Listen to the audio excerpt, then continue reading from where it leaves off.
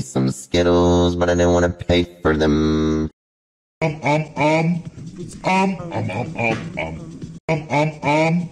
Five minutes later. And then one of the store attendants came up to me and was like, put that back. And then he grabbed my arm and I said, don't touch me.